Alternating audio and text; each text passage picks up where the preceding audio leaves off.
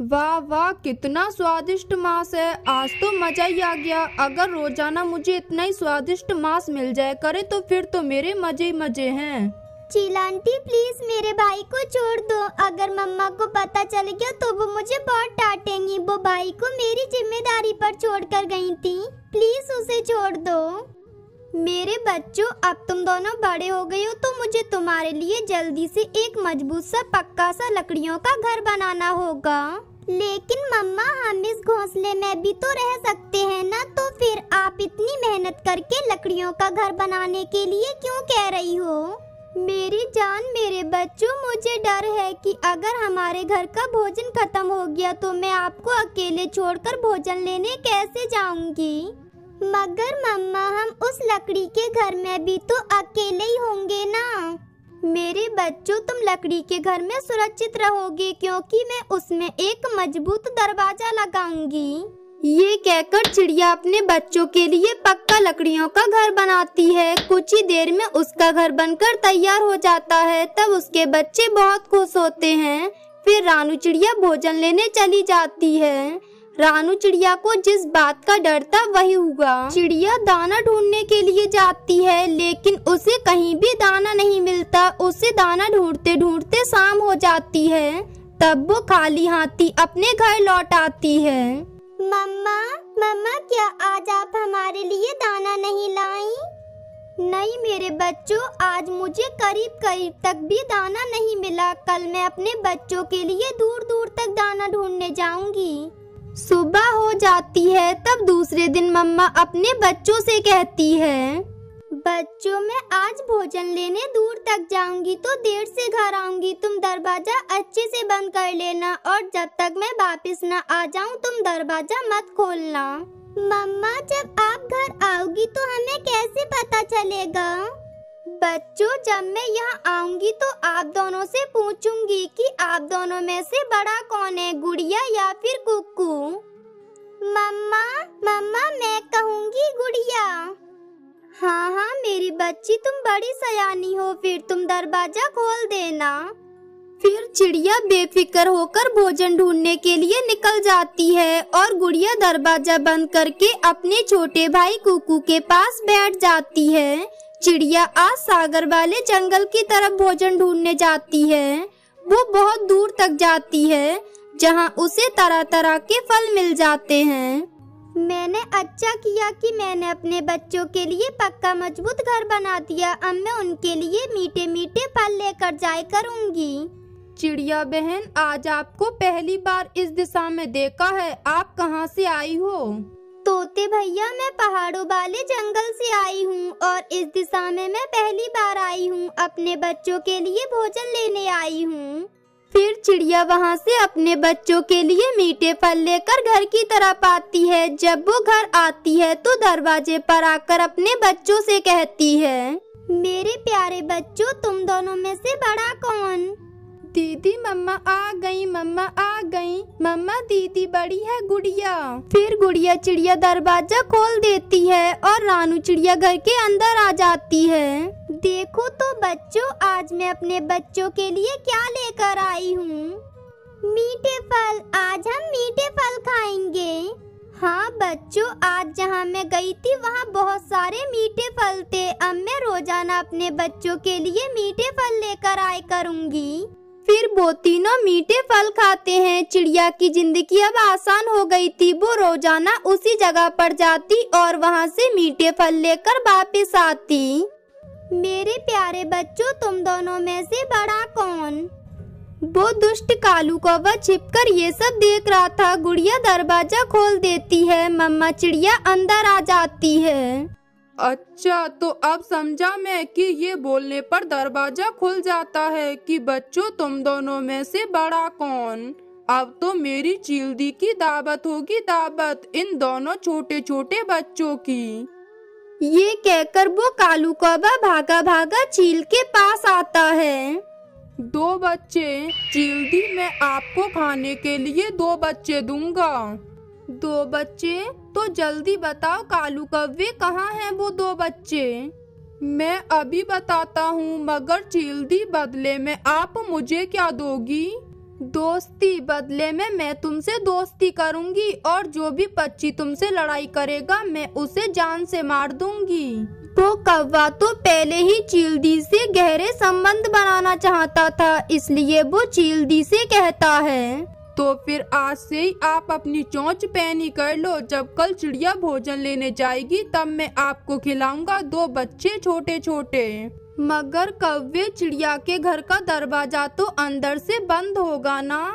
वो सब आप मुझ पर छोड़ दो, मैं आपका दरवाज़ा खुलवा दूँगा। फिर अपनी योजना के अनुसार जब चिड़िया भोजन लेने चली जाती है तो कालू कौवा चील को लेकर चिड़िया के घर के बाहर आता है और उसके दरवाजे पर आकर कहता है, मेरे प्यारे बच्चों, तुम दोनों में से बड़ा कौन? मम्मा आ गई, मम्मा आ गई, मम्मा मैं बड़ी हूँ, गुड़िया। फिर गुड़िया दरवाज़ा खोल देती है और वो अंदर आ जाते हैं। गुड़िया को तो पता ही नहीं चलता कि वो किसकी आवाज़ थी क्योंकि कव्वे ने तो अपनी आवाज़ बदल ली थी। ये क्या तुम दोनों तो मेरी मम्मा नहीं हो फिर तुम दोनों यहाँ क्यों आए हो? वारे कालू आज तो तुमने कमाल कर दिया और आज मेरा दिल खुश कर दिया। चिल्दी अब आप अपना शिकार अच्छे से कर लेना। अच्छा तो अब मैं चलता हूँ। गोरी मेरा इंतज़ार कर रही होगी।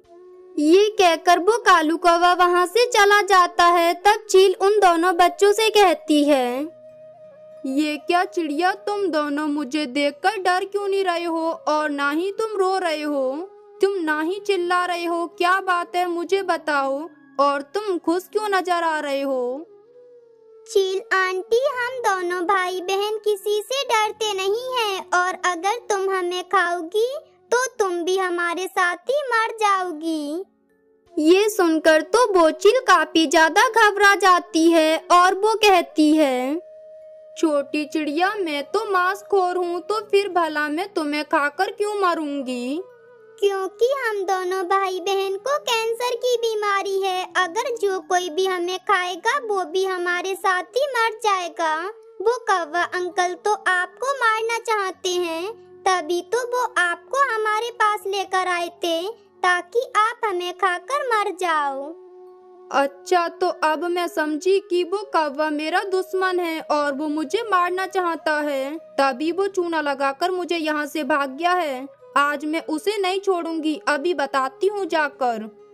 ये कहकर वो चील वहाँ से चली जाती है। थोड़ी देर बाद रानू घर आ जाती है, तब गुड़िया अपनी मम्मा को सारी बात बताती है, जिसे सुनकर रानू कहती है, शाबाश मेरी बच्ची, मेरी बहादुर बच्ची, तुमने अच्छा किया जो तुमने उस बेवकूफ़ चील को बेवकूफ़ बनाकर भगा दिया। फिर इस तरह रानू अपने दोनों बच्चों के साथ खुशी खुशी रहने लगती है। चिड़िया ये क्या एक नहीं दो नहीं? तुमने मेरी सारी आइसक्रीम खराब कर दी। ये सब कैसे हुआ? जल्दी मुझे बताओ। वो कालू अंकल में किसी ज़रूरी काम से घर आई थी तभी अचानक से ये आइसक्रीम का डब्बा नीचे गिर गया और ये आइसक्रीम फैलकर खराब हो गई। कृपया करके आप मुझे माफ़ कर दो। आगे से ऐसा कभी नहीं होगा। मिट्टू तोते बेटे मैं आइसक्रीम लेकर आ गई हूँ। तुम जल्दी से इन्हें ले लो। दादी आज मेरे घर कुछ मेहमान आने वाले हैं तो दस आइसक्रीम ज़्यादा दे देना। फिर पारू चिड़िया आइसक्रीम तोते को दे देती है और वहाँ से चली जाती है। कुछ ही देर में उसकी सारी आइसक्रीम बिक जाती हैं तब वो पैसे लेकर अपने मालिक कालू कव्वे के पास जाती है। सुनो कालू कव्वे अब तो मेरे पैसे बढ़ा दो। इतने पैसों से मेरे घर का गुजारा अच्छे से नहीं हो पाता है।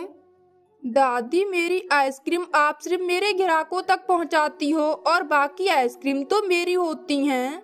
तो मैं तुम्हें ये सौ रुपए सही तो दे रहा हूँ। इससे ज़्यादा मैं तुम्हें नहीं दे पाऊँगा। ठीक है कालू कव्वे तो तुम मुझे मेरे सौ रुपए दे दो। फिर कालू कौवा पारू चिड़िया को सौ रुपए दे देता है। वो उन पैसों को लेकर सब्ज़ी मंडी चली जाती है। बहुत दिन हो गए हैं मेरी बच्चियों को सूखी रोटी खाते हुए। आज मैं उनके लिए सब्ज़ी खरीद लेती हूँ। अगर सब्ज़ी से रोटी खाएँगी तो खुश हो जाएँगी। फिर वो दादी सब्ज़ी वाले से सब्ज़ी खरीदी रही थी कि तभी उसे चक्कर आ जाते हैं और वो वहीं गिर जाती है। तब वो सब्ज़ी वाला कबूतर उसे उसके घर तक पहुंचाता है। दादी जी, आपके घर में कोई और नहीं है जो आपको सब्ज़ी लेने भेज दिया। कबूतर, तुम्हारा बहुत बहुत धन्यवाद मुझे मेरे घर तक छोड़ने के लिए। अब इस बुढ़ापे में तो ऐसे चक्कर अक्कर तो आ ही जाते हैं, तुम अब अपने घर जाइए। फिर वो कबूतर वहाँ से चला जाता है। अब पारो चिड़िया की तबीयत और भी ज़्यादा खराब हो जाती है और वो अपने घोंसले से भी उठ नहीं पाती है।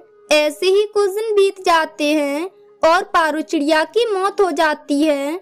उसकी मौत के बाद तो दोनों बेटियाँ अकेली रह जाती हैं। दीदी, पहले पापा हमें छोड़कर चले गए और अब तो मम्मा भी। दीदी, क्या हम ऐसे ही सारी ज़िंदगी अनाथ बन के गुजारेंगे? गुड़िया मेरी छोटी बहन, आज के बाद तुम ऐसा कभी मत कहना, मैं हूँ ना, मैं तुम्हारी बड़ी बहन हूँ, मैं तुम्हें छोड़कर कभी नहीं जाऊँगी।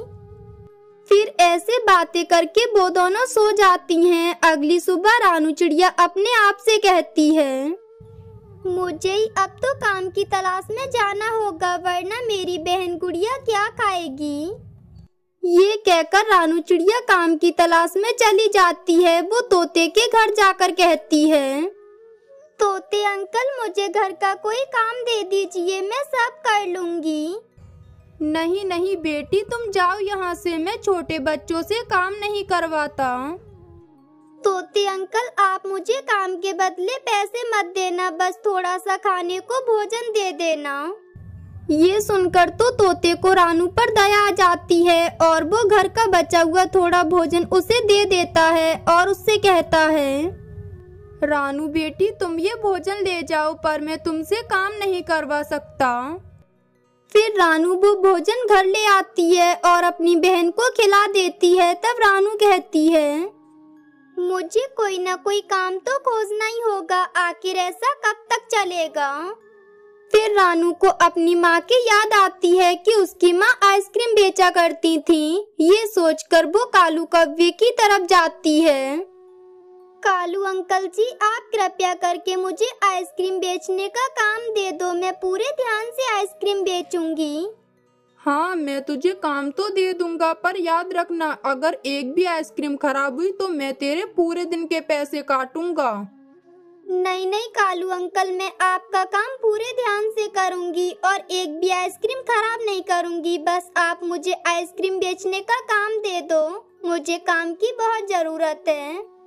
ठीक है तो तुम ये आइसक्रीम इस पते पर पहुँचा दो और एक भी आइसक्रीम की गड़बड़ नहीं होनी चाहिए। ध्यान रखना, अब जाओ।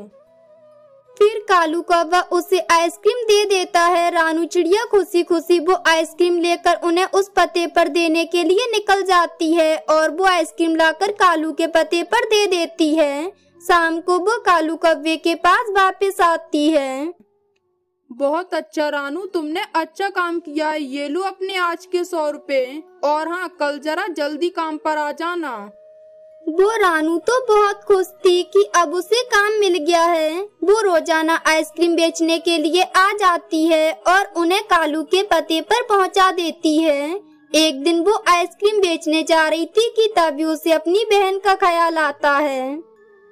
ये क्या, आज मैं अपनी बहन को दवाई देना तो भूल ही गई। मैं अभी जाकर उसे दवाई देकर आती हूँ, नहीं तो उसका बुखार नहीं उतरेगा। फिर रानू चिड़िया, वो सारी आइसक्रीम लेकर जल्दी से अपने घर आती है। वो बहुत तेज उड़ रही थी और जल्दी अपने घर आ जाती है। तभी उसके सर से वो आइसक्रीम का डब्बा नीचे गिर जाता है और सारी आइसक्रीम नीचे फैल जाती हैं। हे भगवान, ये सब क्या हो गया? अब मैं कालू अंकल को क्या जवाब दूँगी? ये सारी आइसक्रीम तो नीचे गिरकर खराब हो गई दीदी, आप चुप हो जाइए। आपने ये आइसक्रीम जानबूझकर थोड़ी ना ज़मीन पर गिराई है। गुड़िया, कालू अंकल ने मुझसे पहले कहा था कि अगर उनकी एक भी आइसक्रीम खराब हो गई तो वो मेरे सारे पैसे काट लेंगे। लेकिन अब तो सारी आइसक्रीम खराब हो गई हैं। क्या बात है? आज तो उस छोटी चिड़िया को बहुत देर हो गई। कहीं ऐसा तो नहीं कि वो मेरी आइसक्रीम लेकर अपने घर जाकर बैठ गई हो। मैं उसके घर जाकर देखता हूँ। ये कहकर वो कालू कौवा घर आता है और वहाँ चिड़िया के घर पर सारी आइसक्रीम ज़मीन पर पड़ी हुई देखकर वो कहता है चिड़िया ये क्या एक नहीं दो नहीं तुमने मेरी सारी आइसक्रीम खराब कर दी ये सब कैसे हुआ? जल्दी मुझे बताओ। वो कालू अंकल मैं किसी ज़रूरी काम से घर आई थी, तभी अचानक से ये आइसक्रीम का डब्बा नीचे गिर गया और ये आइसक्रीम फैलकर खराब हो गई। कृपया करके आप मुझे माफ़ कर दो, आगे से ऐसा कभी नहीं होगा। क्या कहा? मैं तुझे माफ़ कर दूँ? तूने मेरी पूरी पचास आइसक्रीम खराब की हैं। अब तुझे इसकी भरपाई तो करनी होगी और वो है कि तू पूरे पचास दिन मेरे यहाँ फ्री काम करेगी। नहीं नहीं कालू अंकल ऐसा अन्याय मत करो। मैं पचास दिन तक अपनी बहन को क्या खिलाऊँगी और मैं क्या खाऊँगी? ये सब मैं कुछ नहीं जानता। कल से काम पर आ जाना नहीं तो मैं अपने नुकसान की भरपाई कराना अच्छे से जानता हूँ। ये कहकर वो कालू कौवा वहाँ से चला जाता है और वो रानू तो बहुत परेशान हो जाती है और वो उदास मन से सो जाती है। तभी रानू के सपने में रात को कुछ आता है। तब वो दोनों बहनें सुबह उठकर अपने खेत पर आती हैं तो देखती हैं कि उनका पूरा खेत आइसक्रीम से भरा हुआ था। ये देखकर रानू कहती है, गुड़िया, इस खेत में सच में इतनी सारी आइसक्रीम है या फिर मैं कोई सपना देख रही हूँ? नहीं, दीदी, ये सपना नहीं है, ये सच है। यहाँ पर सच में आइसक्रीम है। दीदी, अब आप बिल्कुल भी उस कालू के यहाँ काम पर मत जाना। अब हम इन्हीं आइसक्रीम को बेचकर अपना गुजारा करेंगे। हाँ गुड़िया, तुम एकदम ठीक कहती हो। अब हम ऐसा ही करेंगे। फिर इस तरह वो दोनों बहनें आइसक्रीम बेचकर खुशी खुशी रहने लगती हैं। चिड़िया तोता कबूतर घर की तलाश में बैठे हुए थे, तभी उनकी नज़र एक घर पर पड़ती है और वो तीनों वहाँ आकर उसका दरवाज़ा खटखटाते हैं। तभी उस घर के अंदर से कालू कौवा और गोरी कौवी निकलते हैं। और फिर कालू कौवा और गोरी कौवी उन तीनों पक्षी को एक कच्चा सा कमज़ोर सा घर रहने के लिए दे देते हैं। ये सुनकर वो तीनों पक्षी पहले तो अपने मन में सोचते हैं और फिर बाद में हाँ कर देते हैं और उस घर में जाकर रहने लगते हैं।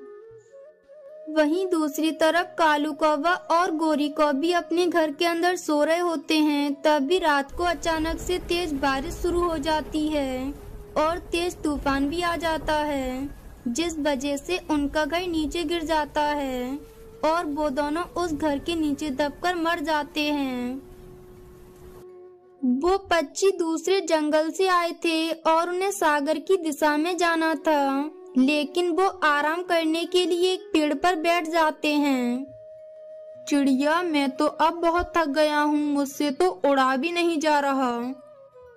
हम सब बहुत थके हुए हैं लेकिन हमें सफ़र तो करना ही पड़ेगा क्योंकि हम इस अनजान जंगल में रात कैसे गुजारेंगे? तभी तोते की नज़र सामने एक घर पर पड़ती है। दोस्तों वो देखो सामने एक घर है हम वहाँ चलते हैं। आज की रात वहाँ गुजार लेते हैं और फिर अगले दिन अपना सफ़र शुरू कर देंगे। ना जाने वो घर किस पच्ची का है वो हमें आसरा देगा क्या अपने घर में? हम एक बार जाकर देख लेते हैं। ऐसा भी तो हो सकता है कि वो पच्ची दयालु हो और एक रात हमें अपने घर में रहने दे। फिर वो तीनों उस घर के पास आते हैं और कबूतर दरवाजे पर दस्तक देता है, लेकिन अंदर से कोई आवाज़ नहीं आती। कबूतर फिर से दस्तक देता है। इस घर में तो कोई भी पक्षी नहीं है। वो देखो, सामने दो और भी घर हैं। मुझे तो लगता है कि यहाँ पर कोई पक्षी रहते हैं और वो इस समय भोजन लेने गए होंगे। वो अभी ऐसे बातें कर ही रहे थे कि तभी वहाँ एक कौवा और एक कौवी आ जाती है। अरे, क्या झाँक रहे हो तुम हमारे घर में? कुछ नहीं कुछ नहीं, बहन जी, हम परावासी पक्षी हैं, सागर की दिशा में जा रहे थे। हम थक गए थे उड़ते उड़ते। और फिर हमने ये घर देखा तो हम यहाँ आ गए। आज की रात आप हम सबको अपने घर में रख लो तो आपकी बड़ी कृपा होगी। लेकिन अगर हम तुम्हें बने बनाई घर दे दे तो कैसा लगेगा तुम्हें? ये सुनकर तो वो तीनों हैरान हो जाते हैं। क्या क्या मतलब हम समझे नहीं आपकी बात? बात ये है कि वो जो सामने दो घर खाली हैं, उनमें पहले कुछ पक्षी रहते थे, लेकिन अब वो चले गए हैं तो अब वो घर हमारे कब्जे में हैं। अरे आप तो बहुत अच्छे पक्षी हैं। बस ऐसे ही दूसरे पक्षी कहते रहते हैं कि कौवे बहुत बुरे होते हैं। सब झूठ बोलते रहते हैं लेकिन पहले तुम मेरी एक बात सुन लो। बदले में तुम्हें उन घरों का किराया देना होगा हमें। क्या? किराया? कितना किराया देना होगा हमें? कुछ ज़्यादा नहीं बस तीन दाने हर रोज एक घर के बदले में। ये सुनकर तो उन तीनों पक्षियों की आँखें खुली की खुली रह जाती हैं, लेकिन वो तीनों पक्षी बहुत थके हुए थे और रात भी बहुत हो चुकी थी। इसलिए कबूतर उन दोनों पक्षियों से पूछे बगैर ही ऐसा कहता है हमें मंजूर है हम कल से आपको चावलों के तीन दाने ला दिया करेंगे। कबूतर ऐसा कैसे होगा? हम कर लेंगे चिड़िया बस कुछ दिनों तक हम यहीं रह लेते हैं। तब तक हमारे जंगल का मौसम भी ठीक हो जाएगा। फिर हम सागर की दिशा की तरफ़ जाने की बजाय अपने जंगल की तरफ़ ही वापस हो जाएँगे। चिड़िया और तोते को भी कबूतर की बात अच्छी लगती है। जल्दी जल्दी बताओ हमें और भी काम है। ठीक है बहन जी, हमें स्वीकार है। तो फिर जाओ आज से तुम इन दोनों घरों में रह सकते हो। और फिर तोता कबूतर और चिड़िया वहाँ से चले जाते हैं। लो भाई कालू कल से भोजन की चिंता भी खत्म हुई। मुफ़्त में ही भोजन मिल जाया करेगा हमें तो। लेकिन गोरी तुम तो जानती हो कि वो घर कितने कमज़ोर हैं। अगर उन पक्षियों के ऊपर गिर गए तो? तो मेरे कौन से रिश्तेदार हैं? वो पक्षी छत गिरे तो गिर जाए लेकिन जब तक ज़िंदा है तब तक तो मुफ़्त में चावल मिलेंगे। और फिर रात हो जाती है और वो दोनों सो जाते हैं। वहीं दूसरी तरफ़ चिड़िया, तोता और कबूतर इस बात से अनजान थे कि वो घर बहुत कमज़ोर है। शायद इसी वजह से बुलबुल वो घर छोड़कर दूसरे जंगल चली गई थी। कबूतर भैया अच्छा ही हुआ कि डील इतनी भी महँगी नहीं है। हम शाम को आते समय एक एक दाना चावल का ले आया करेंगे। बस कुछ ही दिनों की तो बात है। हम कुछ दिनों तक इस किराए के घर में रह लेते हैं। फिर वापस अपने जंगल की तरफ़ चले जाएँगे। और फिर वो तीनों सो जाते हैं और दूसरे दिन गोरी को भी सुबह सुबह ही उनके पास आ जाती है। पराबासियों कैसा लगा ये घर? बहन जी, बहुत अच्छा है। किराया भी कुछ ज़्यादा नहीं है। ऐसा करना शाम से पहले ही हमारे घर पर हमारा किराया पहुँचा देना क्योंकि आज हम तो भोजन लेने नहीं जाएँगे। चिंता ना करो गोरी बहन हम पच्चीस जवान के पक्के हैं। शाम से पहले ही आपका भोजन आपके घर पहुँचा देंगे। और फिर गोरी वहाँ से चली जाती है। दोस्तों चलो देखते हैं हमें इस जंगल में खाने के लिए क्या क्या मिलता है। फिर वो तीनों वहाँ से चले जाते हैं। कालू कौवा और गोरी कौवी घर के बाहर बैठे मज़े कर रहे थे। तभी वहाँ एक पक्षी आता है। मैं बादलों का संदेश लेकर आया हूँ। मैं पहले भी आया था कि आज रात बहुत तेज बारिश आएगी और बारिश के साथ साथ तूफ़ान भी आएगा। इसलिए बेहतर यही है कि आप सब दूसरे जंगल चले जाओ। कहीं ऐसा ना हो कि तूफ़ान के साथ साथ आप सब भी मारे जाओ।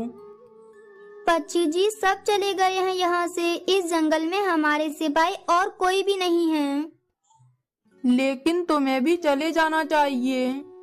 पक्षी जी आप चिंता ना करो हमारा घर बहुत ही मज़बूत लकड़ियों से बना हुआ है। कितना भी तूफ़ान या कुछ भी आए हमारा घर नहीं टूटेगा। वो ऐसे बातें कर ही रहे थे कि तभी वहाँ कबूतर भी आ जाता है। लो जी कौवे और कौबी आपका किराया। कौवे तुम तो कह रहे थे कि यहाँ पर और कोई पक्षी नहीं है सिर्फ़ हम ही हैं सब चले गए हैं यहाँ से। लेकिन ये कबूतर यहाँ कैसे आ गया?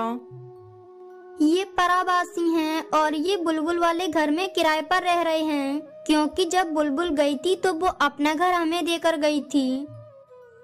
अब मैं जाता हूँ मेरे दोस्त मेरा इंतज़ार कर रहे होंगे। और फिर वो कबूतर वहाँ से चला जाता है। वो घर तो बहुत कमज़ोर है और तुमने लालच किया और तुमने मासूम बच्चियों को बताई नहीं ये बात। पच्ची तुम जाओ हम देख लेंगे जो होगा। और फिर वो पच्ची वहाँ से चला जाता है। गोरी कहीं ये बच्ची बताना दे उन्हें ये बात। इतना भी समय नहीं है सबको अपने अपने कामों की पड़ी है। तुम भोजन खाओ और छोड़ो उन छोटे पक्षियों को। वो पक्षी थोड़ा दूर जाता है तो उसके मन में एक विचार आता है। इन कौओं ने उन बेचारे पक्षियों को ये बात नहीं बताई कि वो घर बहुत कमज़ोर है। मुझे उनको जाकर ये बात बतानी होगी। अगर मैंने नहीं बताई तो भगवान मुझे माफ़ नहीं करेंगे। और फिर ये सोचकर वो पक्षी उन पक्षियों के पास आता है और दरवाज़ा खुलवाता है। दरवाज़ा खोलो। दरवाज़ा खोलो पच्ची मेरे पास समय बहुत कम है। क्या बात है पच्ची दरवाज़ा तो खुला ही था। मैं मौसम का संदेश लेकर आया था। आज रात इस जंगल में बहुत तेज तूफ़ान आने वाला है। इसलिए इस जंगल के सभी पच्चीस जंगल को छोड़कर चले गए हैं। लेकिन पच्ची जी कौवा और कौवी तो इसी जंगल में रहते हैं और उन्होंने हमें ये घर किराए पर दिया है। मेरी बात मान लो ये घर बुलबुल का था और ये घर बहुत कमज़ोर है इसलिए बुलबुल इस घर को छोड़कर चली गई है। और वो कौवे तो है ही लालची उनका घर तो मज़बूत है इसलिए वो दोनों यहाँ से नहीं गए। लेकिन अब हम कहाँ जाएँगे इस समय?